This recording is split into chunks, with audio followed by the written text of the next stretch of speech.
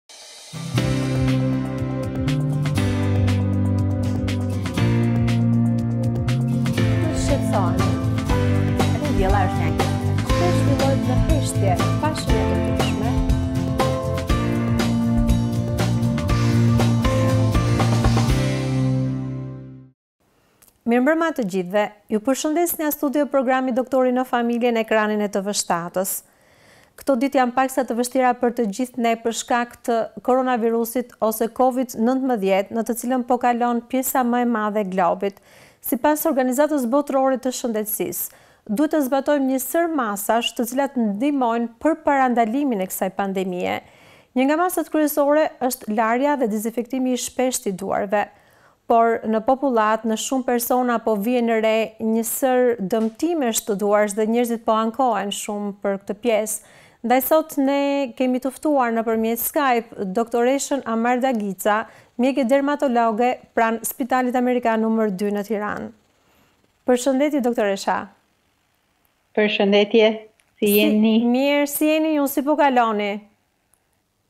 Mirë, Mirë, duke jen... pasur parasysh kushtet. Po, ju jeni në punë, në krye të detyrës. Po, mm -hmm. po. Uh, sot do të flasim së bashku se si duhet të kujdesemi për duart, pasi kemi shumë uh, problematika, dëgjojmë njerëzit që kanë probleme me duart dhe ankohen shumë. Së pari, desha në fakt organizata botërore thotë që duhet të kemi shumë kujdes me duart, duhet në mënyrë t'i lajmë shpesh duart. Ë mënyra se si duhet larë është mjaft e rëndësishme, kohëzgjatja e larjes, detergjentët që duhet përdoren, dezinfektanti e të tilla gjëra. A mund na thoni se cili është ky rregull që ne duhet të kemi parasysh? Si duhet ta zbatojmë këtë larjen e duarve? Nëse larja e duarve është një proces për punonjësit e shëndetësisë ka qenë gjithmonë mm -hmm. një mhm. proces shumë i rëndësishëm, tashti është bërë për të gjithë proces shumë i rëndësishëm dhe duhet të bëhet një larje e plotë, mm -hmm. plotë e të gjithë sipërfaqes së duarve. Sipas rregullave të OBSH-së është e rëndësishme, domethënë më më të mirë se sa larja e duarve me sapun nuk ka as asgjë, domethënë mm -hmm. as uh, dezinfektuesit që përdoren nuk janë nuk mund të zëvendësojnë procesin e larjes së duarve. Mm -hmm. uh, pjesa që është e rëndësishme është që të lahen të gjitha sipërfaqet, domethënë në momentin që ne lajmë duart, i lajmë për një periudhë që i kalon 20 sekondat, mm -hmm. dhe kjo është e rëndësishme si për të rriturit, ashtu dhe për fëmijët, domethënë duhet të tregojmë kujdes dhe në këtë pjesë, të lahen të gjitha sipërfaqet, zona midis gishtërinjve, sipërfaqet e jashtme të duarve dhe edhe pjesa e kyçit të dorës, mm -hmm. domethënë të gjitha sipërfaqet që mund të kenë patur kontakt. kontakt. Mhm. Dhe prandaj të tregojmë kujdes, domethënë t'i përfshijmë të gjitha këto. Ëh, mhm. uh, larja është përveç kësaj kohëzgjatjeje, domethënë për ne nga ana nga ana jonë është që të lahen me ujë të ngrohtë, por jo të nxehtë, pavarësisht pra, pra me ujë të vakët. Domethënë se tendenca e mhm. njerëzve mund të jetë që të përdorin ujë sa më të nxehtë në po. mënyrë që t'i disinfektojnë sa më mhm. mirë. Për ne është e rëndësishme që të lahen me ujë të ngrohtë dhe kjo e ka bërë procesin e larjes. Ëh, mhm. ndërkohë që disinfektuesit dhe të gjitha mjetet e tjera që mund të përdorim apo ato me bazë alkooli përdoren në momentin që ne jemi jashtë shtëpisë. Domethënë jemi në mhm. kushte që nuk mund të lajmë. Të lajmë duart. Ëh.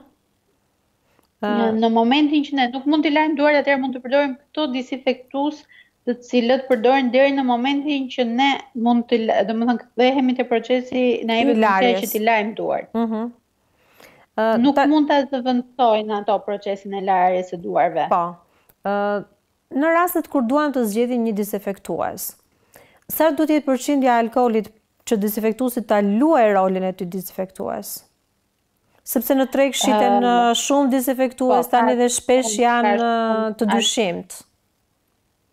Ka shumë alternativa, në përgjithësi ato të themi janë të menduar që të shkaktojnë një proces uh, të mirë disinfektimi.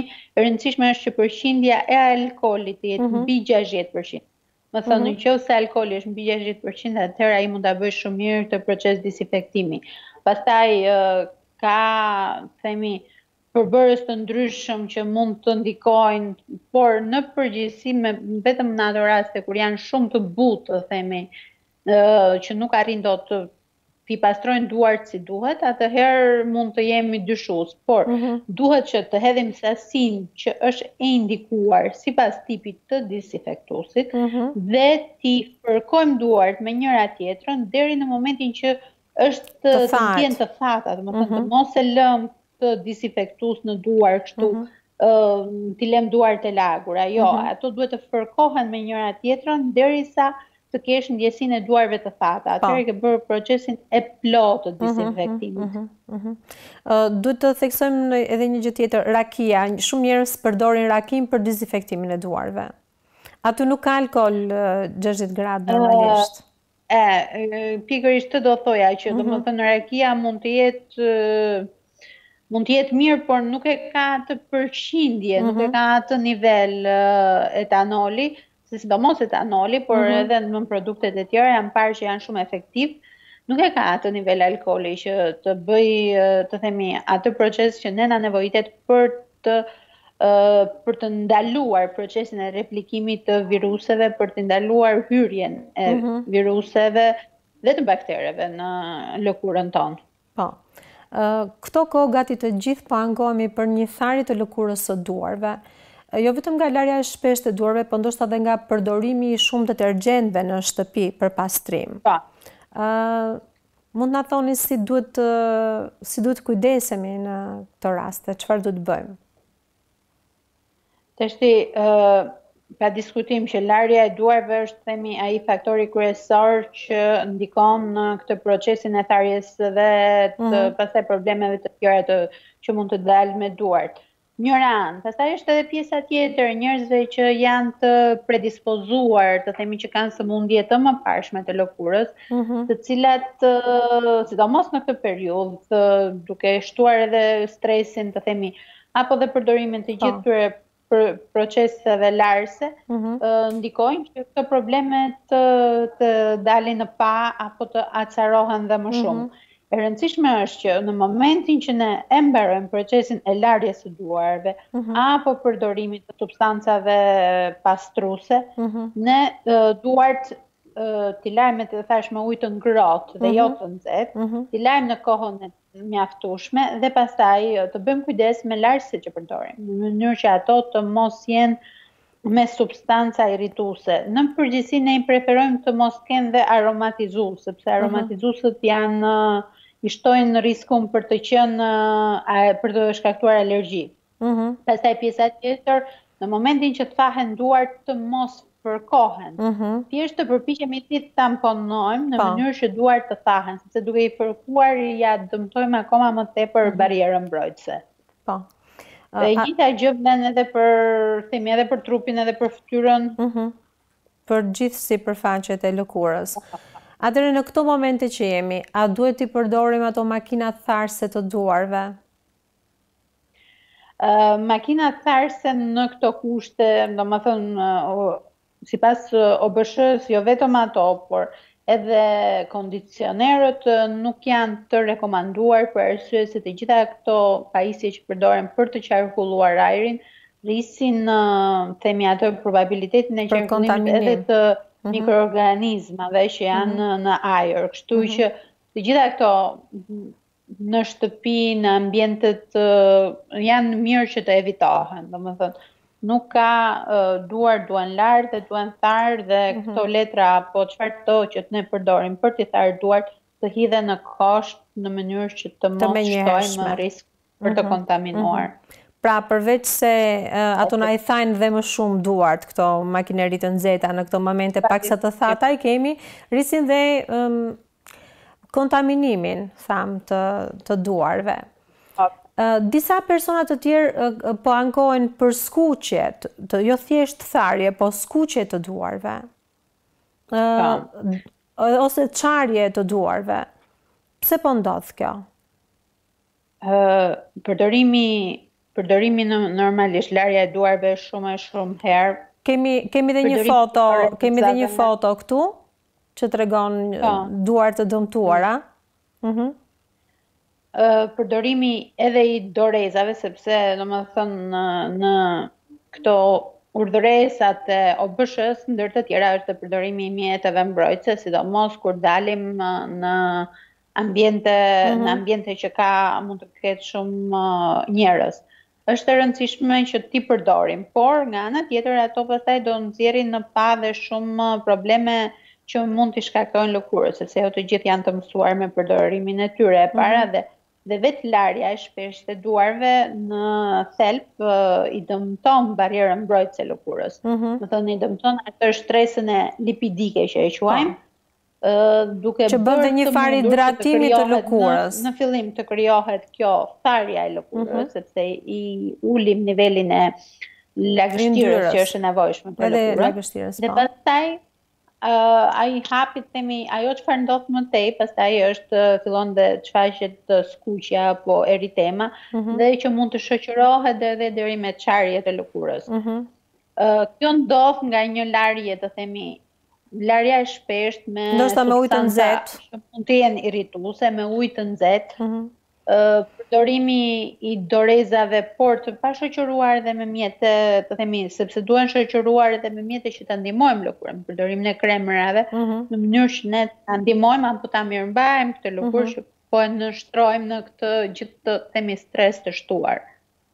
Kështu që është e rëndësishme që të themi të tregojmë kujdes në të gjitha ato gjëra që përdorim, ashtu siç tregojmë kujdes për t'u ruajtur, ashtu dhe ta mirëmbajmë këtë, sepse nuk jemi në kushte të ashtu që mund t'i lejojmë vetes që të dëmtohet lëkura dhe të shërbejë si portë hyrëse Për çdo lloj mikroorganizmi.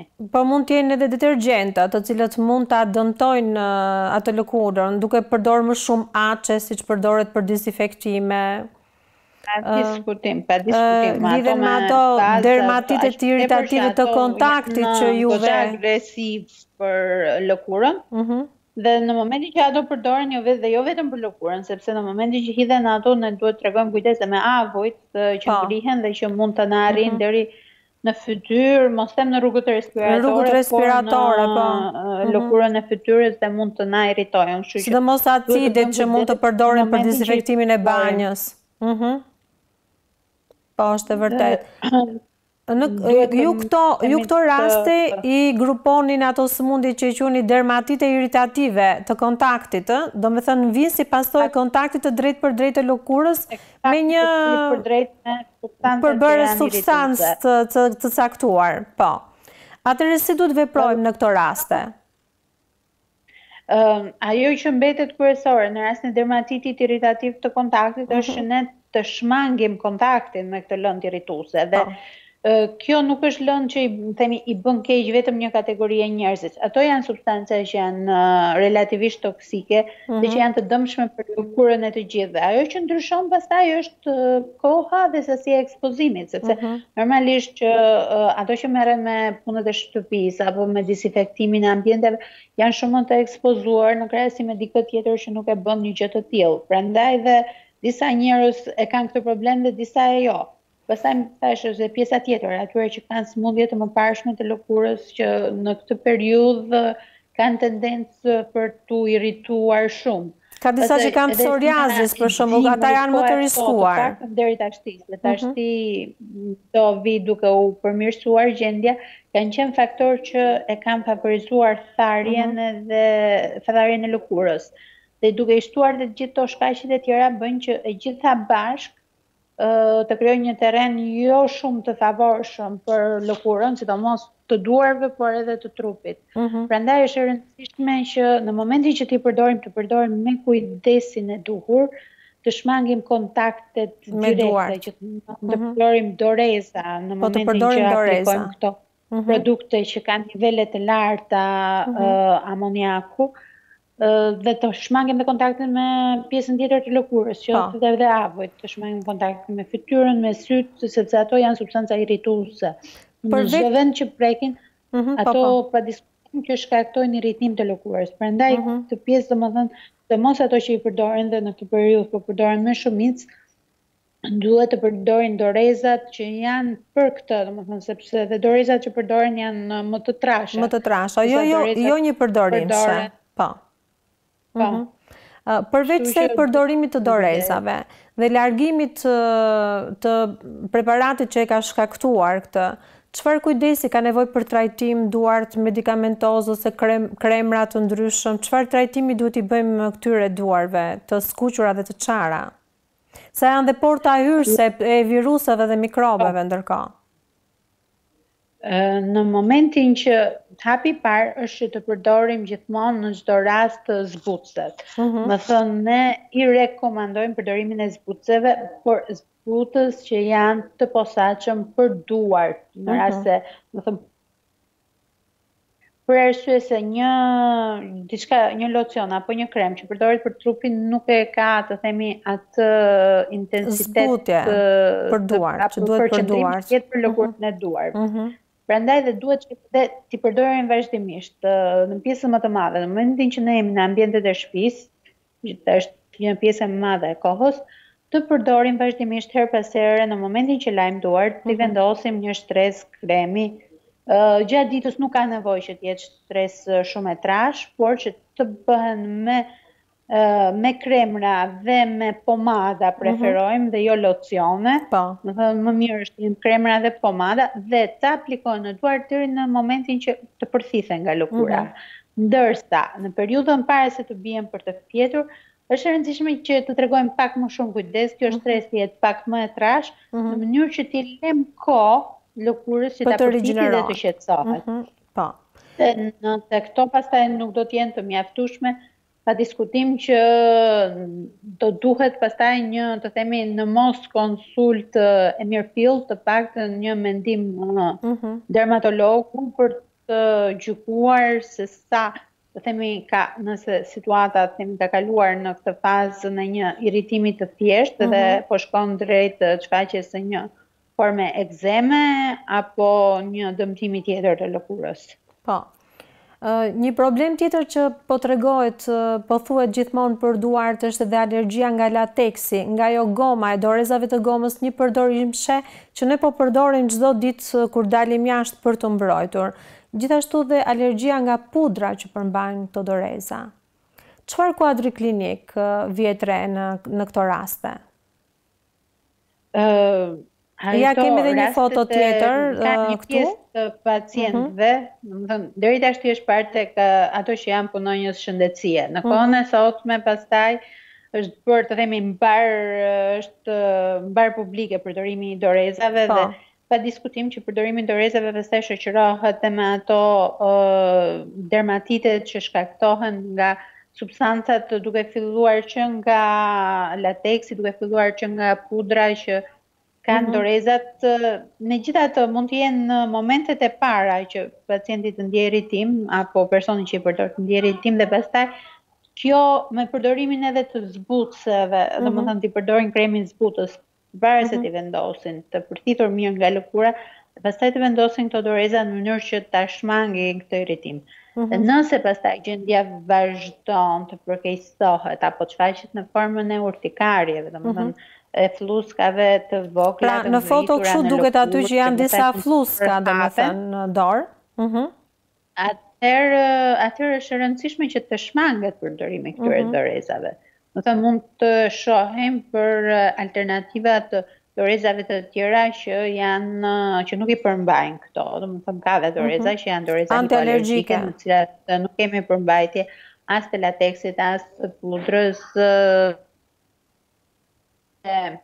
komode mhm. për t'u përdorur, pastaj kushtet na e bëjnë çik më të vështirë qoftë edhe gjetjen e këtyre, por pa diskutim që ekzistojnë dhe doreza që janë të përshtatshme për ato njerëz që kanë alergji, sepse në momentin që çfaqen fenomene që janë të mirëfillta alergjie, atëherë ato nuk duhen lënë të të vazhdojë ekspozimin, se Mhm. vazhdon ekspozimi pastaj aq më i shprehur do bëhet uh, ai reaksioni që çfaqet. Prandaj është e rëndësishme që nëse çfaqen fenomene të tilla, atëherë ta ndërpresim menjëherë mhm. përdorimin mm -hmm. e këtyre dorezave dhe t'i lëm kohë lëkurës të qetësohet, nëse mund të qetësohet, nëse jo, pastaj do të duhet përdorimi i antihistaminikëve për të kaluar kjo gjendje dhe pastaj personi të mendojë për përdorimin e metodave të tjera alternative për të mbrojtur veten. Kjo, do të pyes, kjo lloj alergjie e lateksit ndodh më shumë tek persona të cilët kanë dhe alergji të tjera shoqëruese?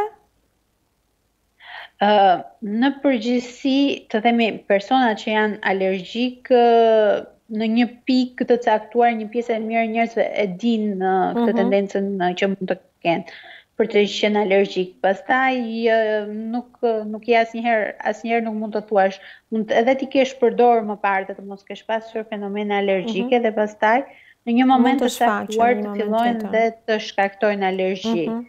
Domethënë nuk është se është e domosdoshme fakti që je alergjik apo ke çfaqur më përpara, mhm. në çdo pikë mund të çfaqet. Ndoshta, ndoshta ajo djersa që krijohet midis lëkurës së dorës dhe dorezës plastike ndikon? Sidomos po, në periudhën mhm. tashti që do vijë dhe temperaturat po vijnë të mhm. ngrohur, mhm. ajo çfarë do ndodhi është që do kemi një hiperhidrozë, domethënë duart do fillojnë do djersisin shumë më tepër. ë sepse doreza të tilla janë doreza që janë të menduara për personel mjekësor, për po. ambiente brenda në të cilat edhe temperaturat janë të janë të ulta relativisht, themi, pa, po. në mënyrë që të mos krijohen kushte në mm -hmm. të cilat të fillojnë në duart apo organizmi të djersisin. Mm -hmm. Prandaj, ndërkohë që kushtet në cilat ne ndodhemi janë themi situatë uh, jashtë shumë jashtë normale, që na detyrojnë ne që të përdorim këto doreza, mm -hmm. që janë doreza mjek ore në ambjente në ambjente të zakonshme, në ambjente publike dhe pastaj do t'i ekspozojmë duart tona dhe ndaj kësaj lloj okluzioni apo mbyllje që krijohen mhm, nga mhm. dorezat, duke bërë që të djersisin duart shumë më tepër. E rëndësishme është të mos i mbajmë një periudhë të gjatë, domethënë sapo të kthehemi menjëherë t'i heqim t'i hedhim pa diskutim, po, pa sepse tjetër. ato janë njëpërdorimshe po. dhe janë kontaminuara. Dhe e rëndësishme është mënyra, mënyra se si do ta heqësh dorezën pa kontaminuar duart e tua. Po. Mhm. Po. Është, domethënë, në momentin që heq dorezën e parë, dorezën duhet ta kapësh në pjesën e jashtme. Mhm dhe ta heqësh duke ekspozuar pjesën, pjesën e brendshme të dorezës. Po. Ndërkohë po. që në momentin që heq dorezën tjetër, në cilën ti dorën tënde tashti e ke po. pa dorezë, atëherë duhet që uh, gishtat të futen në pjesën e brendshme të dorezës, të dorezës që konsiderohet po. e pakontaminuar mm -hmm. dhe e zhvesh gjithmonë duke e kthyer nga brenda, në mhm. mënyrë që të mos ekspozohesh ti ndaj pjesës së kontaminuar. Gjithashtu themi këto janë rregulla sidomos për rastet kur ne kemi dyshime për themi për kontakte me pacientë që mund të jenë të infektuar. A mund të bëhen këto zona që janë si vezika, a mund të bëhen këto zona si mbartëse të proceseve mykotike? Në momentin që këto doreza mbahen për një periudhë, të themi, të gjatë në në dorë dhe fillon dhe ndjen që Kujt i thoni, kujt i thoni ju një periudhë të gjatë në dorë? Në radhë të parë ndodhin procese ekzematizuese, mm -hmm, do të mhm, thonë ekzema. Për arsye se krijohen midis gishtërive një formë e veçantë ekzeme që vjen dhe pikërisht si pasojë e gjëndrave të djersës dhe pastaj nëse do lihen kohë pa u trajtuar atëherë mund të kemi një mbivendosje mykotike por themi shqetësimet fillojnë shumë më shpejt nuk është se mund t'i lënë terren mykut të zhvillohen zhvillohet më përpara themi ky proces i ekzemës si pasojë e djersitjes së tepërt të duarve Sam, nga momenti që shfaqet kjo alergji, është normale që nuk duhet t'i përdorim më këto doreza lateksi. Sa kohë mund të na zgjasë ky proces në duar? Në momentin që ai shfaqet, normalisht që do kohën e vet për t'u për t'u rigjeneruar, për t'u rikuperuar, domethënë duke i përdorur mjekimin, Dhe është e rëndësishme që gjatë kësaj periudhe të mos e ekspozojmë lëkurën më ndaj këtij stimuli të themi negativ. Po, po.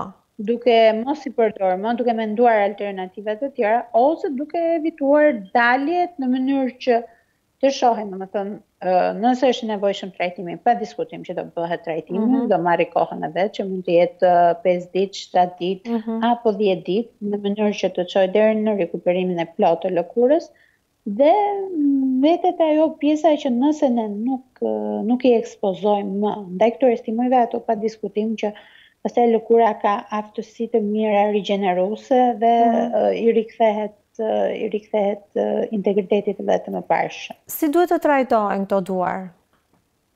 Si mjekohen? Uh, me pomada? Pa diskutim, mhm. nuk në raste shumë të rralla mund të jetë e nevojshme përdorimi i trajtimeve nga goja, apo mhm. nëse do përdoren trajtime nga goja më shumë do jetë për të qetësuar simptomat, sidomos të kruarit. Sepse ato kanë kanë simptoma, kanë djegje, kanë kruarje në këto zona, domethënë njerëzit, ata personat që i kanë kanë siklet, domethënë, nuk është se janë thjesht pamja që i shqetëson ata.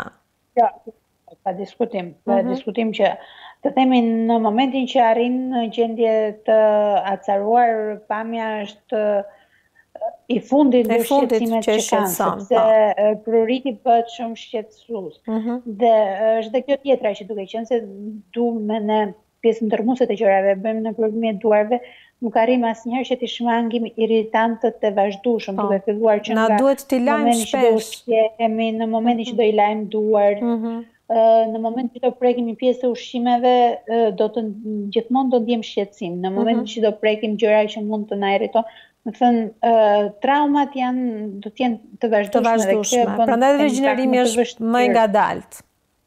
Mhm. Po, procesin e rigjenerimit, duhet të mhm. tregojmë kujdes në këtë pjesë, domethënë mhm. duhet t'i trajtojmë me kujdes mos i lëmë që të shkojnë të avancojë shumë kjo situatë, të, sa më shumë të avancojë aq më aq më shumë kohë do dojë pastaj për ta rikthyer në gjendjen e mëparshme, kështu që ne duhet ta trajtojmë Sa po shohim të çfaqen shenjat e para, Po.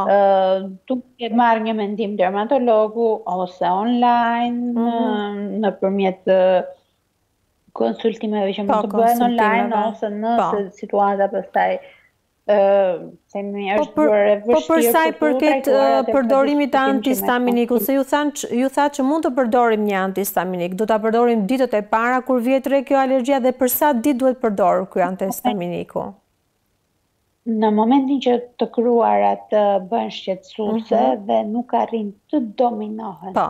Me përdorimin e kremrave zbutës, pa diskutim që mund të mendojmë E para është përdorimi i kremrave me bazë mhm. kortizoni por të lehtë, në po. mënyrë që të qetësojmë situatën dhe pastaj antihistaminiku nga goja që mund të përdoret për një periudhë 5 apo 7 ditore. 7 ditore, po. Jo, po, mhm. jo më të zgjatur pa konsultimin nga mjeku.